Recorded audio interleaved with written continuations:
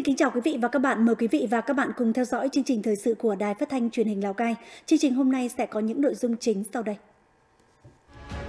Kỳ họp thứ 17, kỳ họp tổng kết nhiệm kỳ Hội đồng Nhân dân tỉnh khóa 15 sẽ diễn ra vào ngày 9 tháng 4 năm 2021. Bắt đầu đợt 3, cuộc thi tìm hiểu văn kiện đại hội đảng trên mạng Internet. Bộ đội biên phòng đồng hành cùng người dân nghèo biên giới. Sau đây là nội dung chi tiết của chương trình mời quý vị và các bạn cùng quan tâm theo dõi.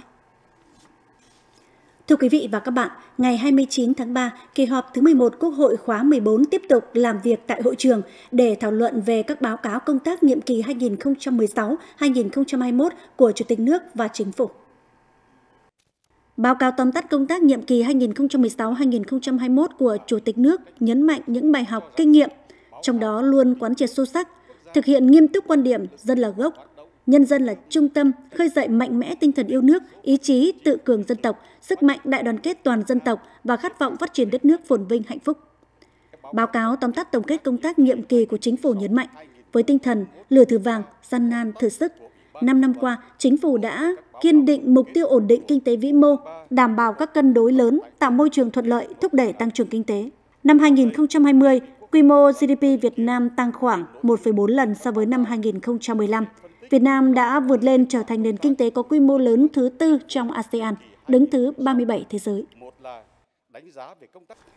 Thưa quý vị và các bạn, kỳ họp thứ 17, kỳ họp tổng kết nhiệm kỳ Hội đồng Nhân dân tỉnh khóa 15 sẽ diễn ra vào ngày 9 tháng 4 năm 2021. Đây là thông tin được đưa ra tại phiên họp thường kỳ lần thứ 55 Hội đồng Nhân dân tỉnh vừa diễn ra vào chiều ngày 29 tháng 3. Đồng chí Đặng Xuân Phong, Ủy viên Ban chấp hành Trung ương Đảng, Bí thư tỉnh ủy, Chủ tịch Hội đồng Nhân dân tỉnh chủ trì phiên họp. Cùng dự họp có các đồng chí Thường trực Hội đồng Nhân dân, Ủy ban Nhân dân, Ủy ban Mặt trận Tổ quốc Việt Nam tỉnh Lào Cai, các ban, tổ đại biểu Hội đồng Nhân dân tỉnh. Trong tháng 3, Thường trực Hội đồng Nhân dân tỉnh đã chỉ đạo đôn đốc hoạt động của các ban tổ đại biểu về triển khai, tổ chức và hoàn thành các hoạt động giám sát, khảo sát thường xuyên, chuyên đề, tập trung xây dựng và báo cáo kết quả giám sát, khảo sát, đồng thời tiếp tục giám sát thường xuyên việc trả lời, giải quyết kiến nghị của cử tri sau giám sát. Hội đồng Nhân dân tỉnh cũng đã tập trung xây dựng chương trình nội dung kỳ họp thứ 17 và thông qua các báo cáo dự thảo nghị quyết của Thường trực Hội đồng Nhân dân tỉnh trình kỳ họp. Trong tháng 4, Hội đồng Nhân dân tỉnh sẽ tập trung chuẩn bị và tổ chức kỳ họp thứ 17 Hội đồng Nhân dân tỉnh. Thường trực Hội đồng Nhân dân, các ban, tổ đại biểu tiếp tục giám sát thường xuyên việc triển khai các nghị quyết Hội đồng Nhân dân tỉnh, việc giải quyết ý kiến kiến nghị cử tri, kiến nghị sau giám sát, thực hiện công tác chỉ đạo các ban, tổ đại biểu Hội đồng Nhân dân tỉnh trong thực hiện nhiệm vụ, quyền hạn. Tại phiên họp, các đại biểu cũng đã cho ý kiến điều chỉnh bổ sung sửa đổi một số nội dung về báo cáo tờ trình, nghị quyết dự kiến sẽ trình bày tại kỳ họp thứ 17 theo đó, dự kiến sẽ có 25 tờ trình và 13 nghị quyết được thông qua tại kỳ họp thứ 17 diễn ra vào ngày 9 tháng 4. Đồng chí Đặng Xuân Phong, Ủy viên Ban chấp hành Trung ương Đảng, Bí thư tỉnh ủy, Chủ tịch Hội đồng Nhân dân tỉnh yêu cầu, trong thời gian tới các tổ đại biểu Hội đồng Nhân dân tỉnh cần tăng cường công tác theo dõi, giám sát việc thực hiện nghị quyết, tập trung giải quyết các ý kiến, kiến nghị của cử tri, về chuẩn bị cho kỳ họp thứ 17, đồng chí Bí thư tỉnh ủy yêu cầu điều chỉnh bổ sung một số nội dung quan trọng để sớm hoàn thiện tờ trình, nghị quyết trình kỳ họp. Chiều ngày 29 tháng 3, Ban tuyên giáo tỉnh ủy đã tổ chức hội nghị bồi dưỡng kỹ năng nghiệp vụ tuyên truyền bầu cử đại biểu Quốc hội khóa 15 và đại biểu Hội đồng Nhân dân các cấp nhiệm kỳ 2021-2026 đồng chí Dương Đức Huy, Ủy viên Ban Thường vụ, trưởng Ban tuyên giáo tỉnh ủy, trưởng tiểu ban thông tin tuyên truyền bầu cử tỉnh, dự và chủ trì hội nghị.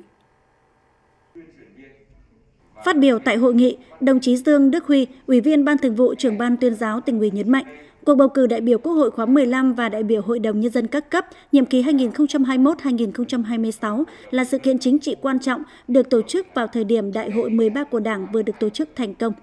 Đây là đợt sinh hoạt chính trị sâu rộng để nhân dân thực hiện quyền và nghĩa vụ của mình thông qua việc lựa chọn, bầu những người tiêu biểu xứng đáng tham gia Quốc hội và Hội đồng Nhân dân các cấp. Vì vậy, các đại biểu cần nhận thức đầy đủ sâu sắc chủ trương, quan điểm lãnh đạo, chỉ đạo của Đảng, Nhà nước và của tỉnh về bầu cử, có sự phối hợp trong công tác tuyên truyền, tạo sự thống nhất về nhận thức, tư tưởng, hành động, đóng góp tích cực vào việc tổ chức thành công cuộc bầu cử. Tại hội nghị, các đại biểu đã nghe các chuyên đề một số nhiệm vụ chủ yếu của mặt trận Tổ quốc các cấp trong công tác bầu cử, một số nội dung trong công tác bầu cử đại biểu Quốc hội khóa 15 và bầu cử đại biểu Hội đồng Nhân dân các cấp nhiệm kỳ 2021-2026 kỹ năng, nghiệp vụ để làm tốt công tác tuyên truyền miệng, chủ trương, quan điểm lãnh đạo, chỉ đạo của Đảng và Nhà nước đối với cuộc bầu cử và mục đích ý nghĩa, tầm quan trọng của cuộc bầu cử đại biểu Quốc hội khóa 15 và bầu cử đại biểu Hội đồng Nhân dân các cấp nhiệm kỳ 2021-2026. Tại Hà Nội, Bộ Thông tin và Truyền thông cũng đã chủ trì phối hợp với Văn phòng Hội đồng Bầu cử Quốc gia tổ chức hội nghị tập huấn báo chí tuyên truyền cuộc bầu cử đại biểu Quốc hội khóa 15 và đại biểu Hội đồng Nhân dân các cấp nhiệm kỳ 2021-2026 cho các cơ quan báo chí trong cả nước. Tại buổi tập huấn, các cán bộ, lãnh đạo, phóng viên, biên tập viên các cơ quan báo chí được giới thiệu chi tiết kế hoạch và định hướng thông tin tuyên truyền, hướng dẫn các quy định về bầu cử đại biểu Quốc hội khóa 15 và đại biểu Hội đồng Nhân dân các cấp nhiệm kỳ 2021-2026. Qua đó giúp các cơ quan báo chí nâng cao hiệu quả tuyên truyền về bầu cử, góp phần định hướng, động viên đông đảo các tầng lớp nhân dân nêu cao tinh thần làm chủ, ý thức tự giác tham gia bầu cử ở mức cao nhất.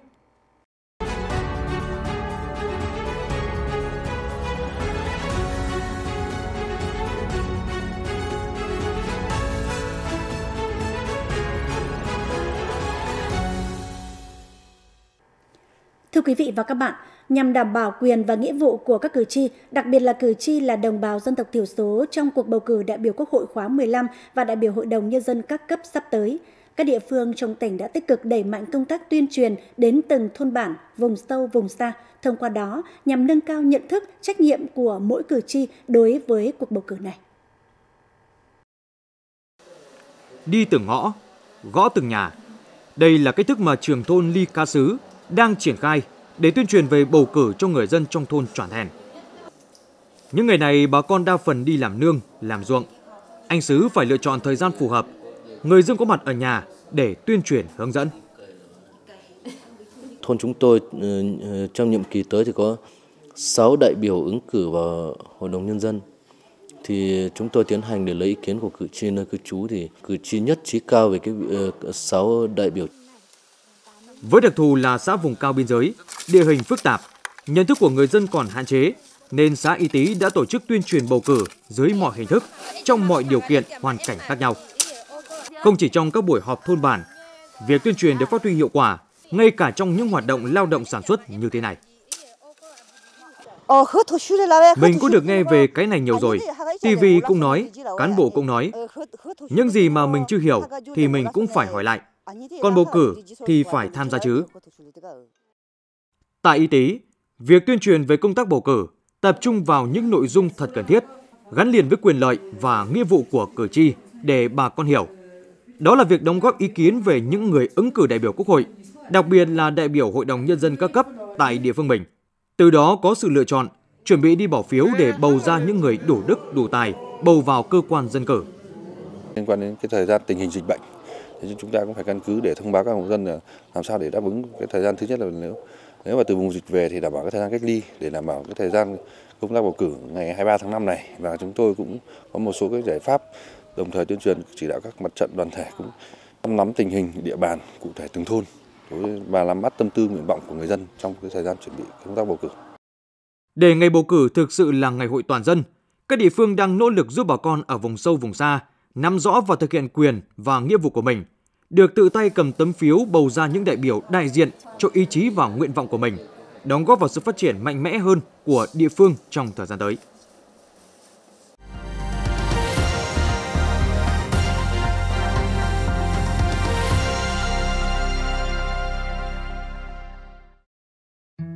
Dự báo thời tiết các khu vực trong tỉnh đêm 29 ngày 30 tháng 3 năm 2021 Vùng đồi núi thấp, mây thay đổi không mưa, ngày trời nắng, gió nhẹ, đêm về sáng trời xe lạnh, nhiệt độ 24 đến 33 độ, độ ẩm trung bình 75%. Vùng đồi núi cao, mây thay đổi không mưa, ngày trời nắng, gió nam cấp 2, đêm về sáng trời rét, nhiệt độ 18 đến 30 độ, độ ẩm trung bình trên 85%. Thành phố Lào Cai, ngày trời nắng, gió nhẹ, đêm về sáng trời xe lạnh, nhiệt độ 24 đến 33 độ, độ ẩm trung bình 75%. Khu du lịch Sapa, mây thay đổi, không mưa, ngày trời nắng, gió Tây Bắc cấp 2, đêm về sáng trời rét, nhiệt độ 18 đến 26 độ, độ ẩm trung bình 85%. Khu du lịch Bắc Hà, ngày trời nắng, gió nam cấp 2, đêm về sáng trời rét, nhiệt độ 18 đến 30 độ, độ ẩm trung bình trên 85%.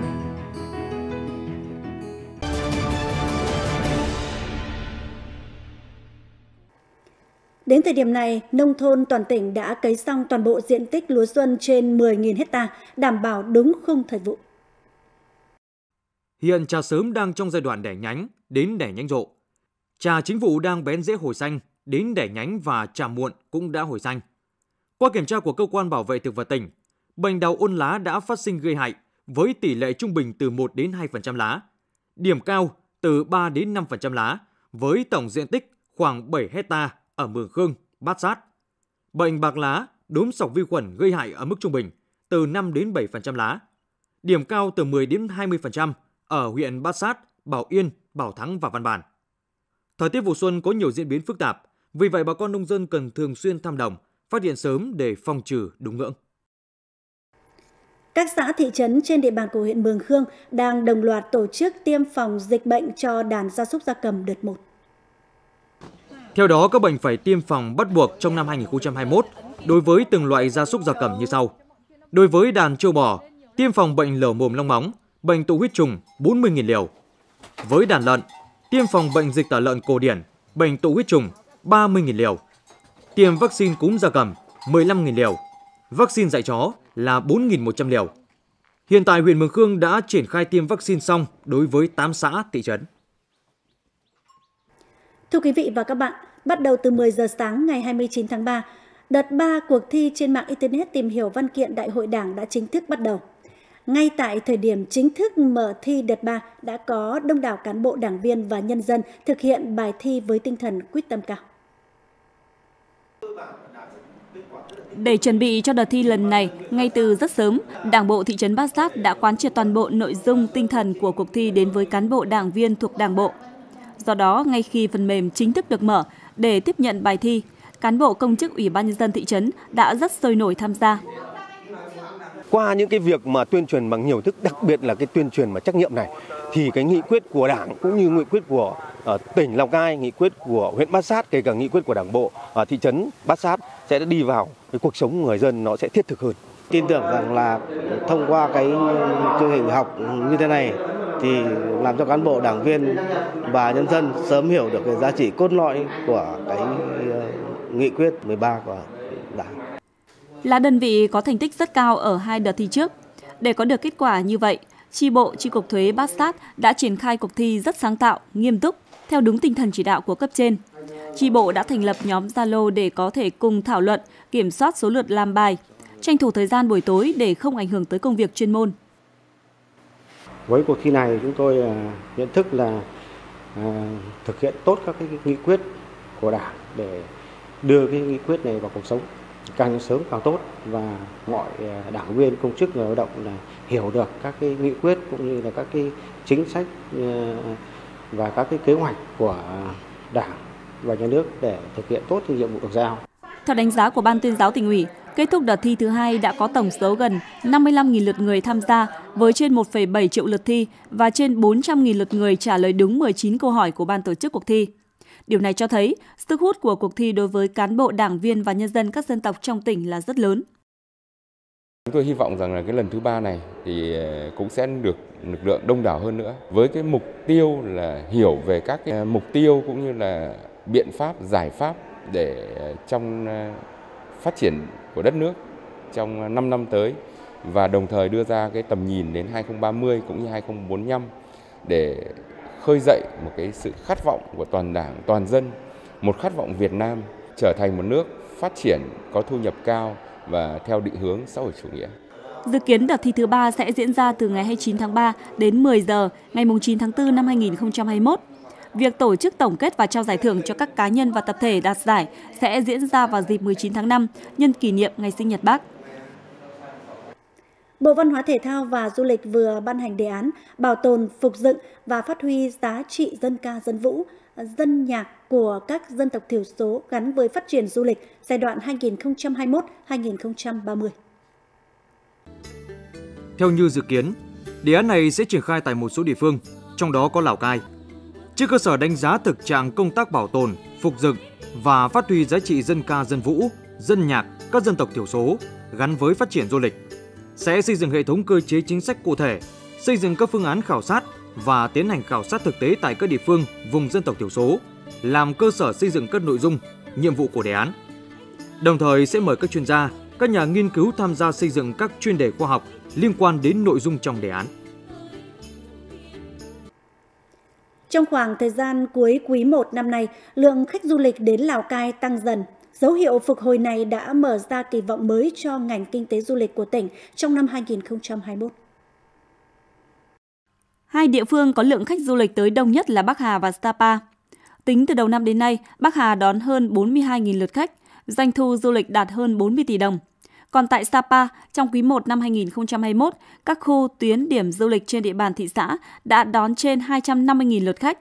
Thành phố Lào Cai và huyện Bát Sát cũng thu hút rất đông du khách trong nước tìm đến trải nghiệm. Như vậy, trong 3 tháng đầu năm, Lào Cai đã đón trên 713.000 lượt du khách, doanh thu đạt trên 2.000 tỷ đồng. Mặc dù số lượt khách vẫn thấp hơn so với cùng kỳ các năm trước,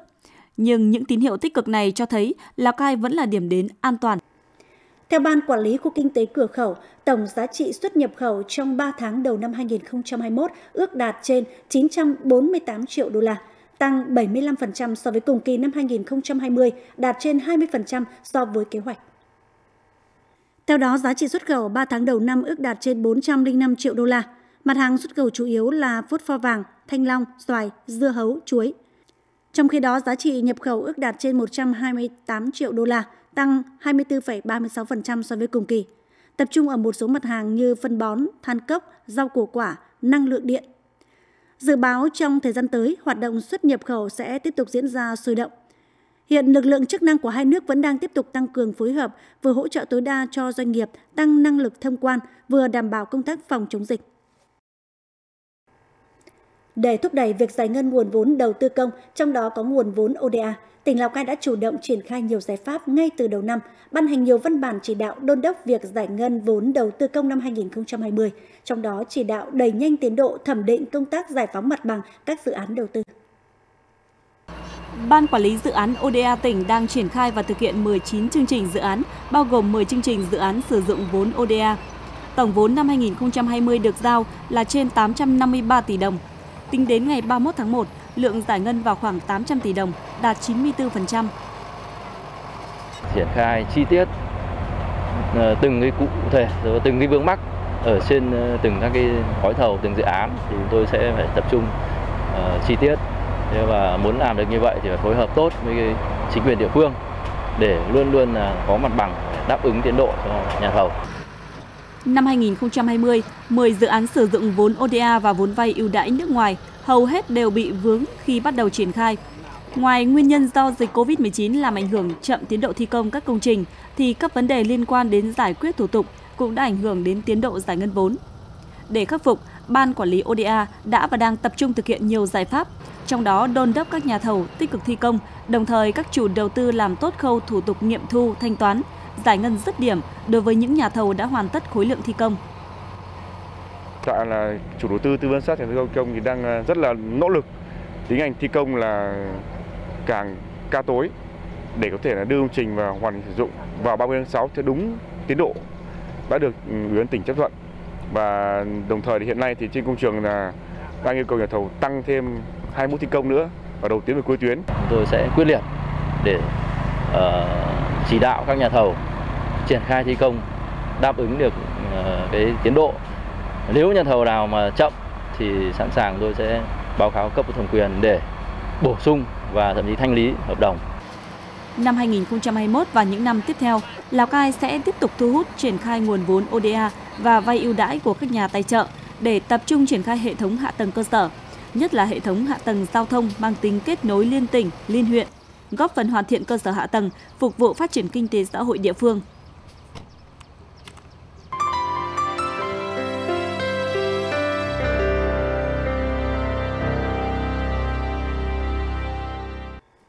Thưa quý vị và các bạn, ở khu vực biên giới, những nơi đặc biệt khó khăn trong phát triển kinh tế, chủ trương phân công đảng viên là cán bộ chiến sĩ của các đồn biên phòng phụ trách các hộ gia đình đã giúp không ít hộ đồng bào vươn lên ổn định đời sống.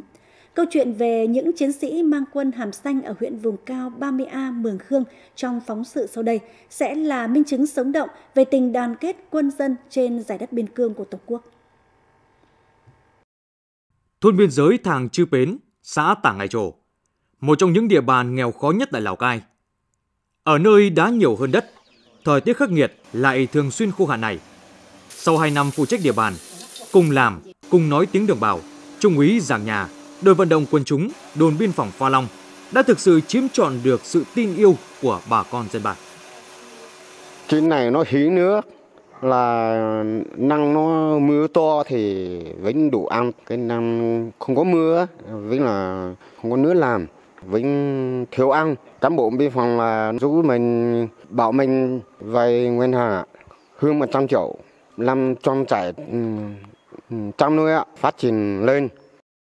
vốn thành thạo tiếng nói của người dân bản địa nhưng để thông được tư tưởng, vận động những hộ gia đình nghèo khó như gia đình ông Sáng tìm ra nguồn sinh kế mới không phải là chuyện một sớm một chiều. Mưa dầm thấm lâu, Trung úy nhà đã trực tiếp cầm tay chỉ việc, giúp hai hộ gia đình tại xã biên giới Tả Ngài Trồ thoát khỏi cái vòng luẩn quẩn của đói nghèo đã đeo đẳng bao năm. Bám chủ trương chính sách, bám đồn, bám địa bàn, rồi cùng ăn, cùng ở, cùng làm, cùng nói tiếng đồng bào. Nhiều chiến sĩ mang quân hàm xanh đã thực sự trở thành người thân của đồng bào, người con của mảnh đất biên cương. Chúng tuyên truyền mà và bà con bảo là những chỗ nào mà nó không có năng suất, năng suất nó không lớn ấy thì chuyển đổi sang chăn nuôi là những cái chuồng chạy này có năng suất cao hơn với lại chỉ à, vận dụng những cái chỗ mà không có năng suất để xây dựng chuồng trại, còn lại nương là vẫn phải dình để lại để trồng ngô, để có cái, để có cái hạt ngô để cho cho lợn à, và cho chăn, cho đàn gia súc. Thuận tiện là chỗ là tôi được biết nói tiếng dân tộc và nghe được. Tôi là được bà con trong thôn là quý mến, coi tôi như là một người con ruột của trong gia đình luôn. Hơn 2 năm thực hiện chỉ thị số 681 của Bộ Tư lệnh Bộ đội Biên phòng về phân công đảng viên phụ trách các hộ gia đình ở khu vực biên giới Bộ Chỉ huy Bộ đội Biên phòng Lào Cai đã phân công trên 360 cán bộ, đảng viên phụ trách giúp đỡ 1.700 hộ gia đình nghèo ở các xã phường thị trấn thuộc 5 huyện, thành phố biên giới. Đối với các đồng chí ờ, đảng viên được phân công phụ trách ấy, thì ờ, thường xuyên tự nghiên cứu để nắm bắt về cái ờ, trình độ về khoa học kỹ thuật. Qua đó để hướng dẫn cho bà con nhân dân chuyển đổi cơ cấu vật nuôi cây trồng để phát triển kinh tế hộ gia đình. Qua 2 năm triển khai thực hiện thì đến nay trên địa bàn của đơn vị phụ trách thì các hộ gia đình cũng đã uh, có nhiều cái chuyển biến. Nhiều hộ gia đình đã thoát nghèo bền vững. Sau những giờ thực thi nhiệm vụ quản lý bảo vệ biên giới, những cán bộ chiến sĩ mang quân hàm xanh lại đồng hành hỗ trợ những gia đình nghèo vươn lên trong phát triển kinh tế.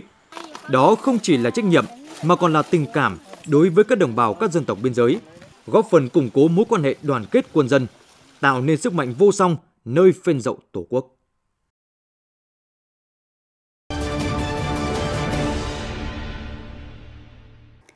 Việt Nam kỳ vọng đến cuối năm nay có thể chủ động nguồn vaccine COVID-19 trong nước và tiến tới xuất khẩu vaccine vào năm 2022.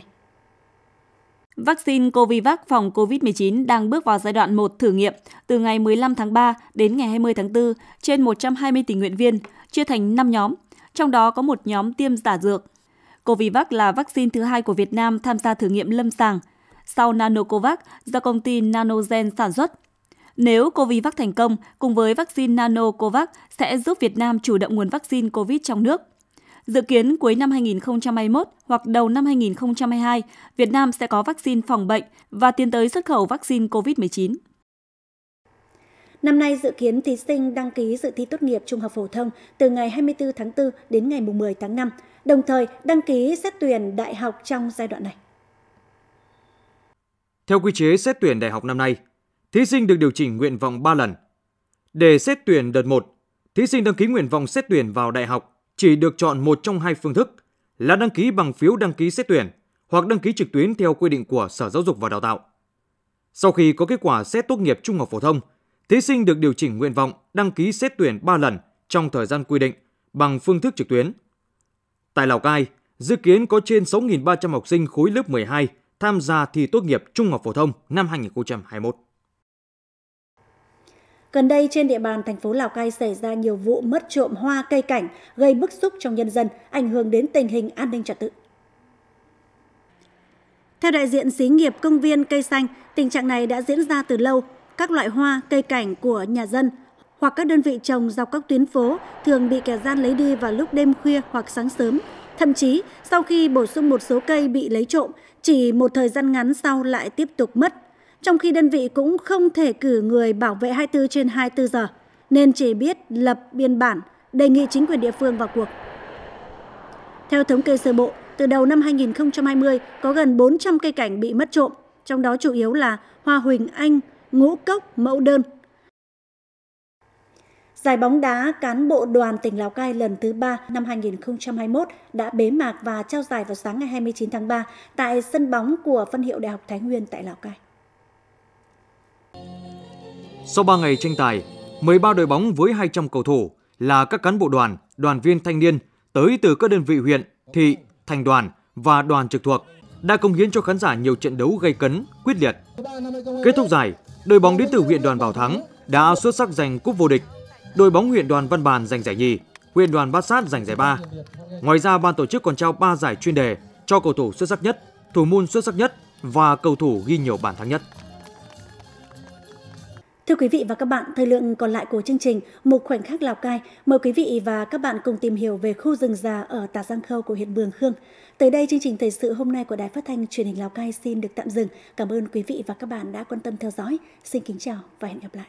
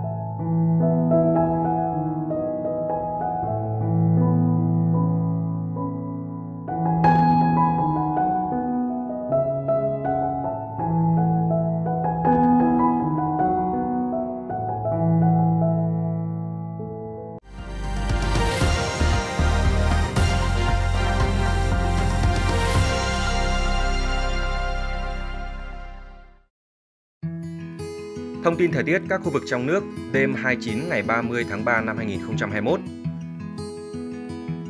Phía Tây Bắc Bộ có mây, chiều tối và đêm có mưa rào và rông vài nơi, ngày nắng nóng, gió nhẹ, nhiệt độ từ 20 đến 37 độ.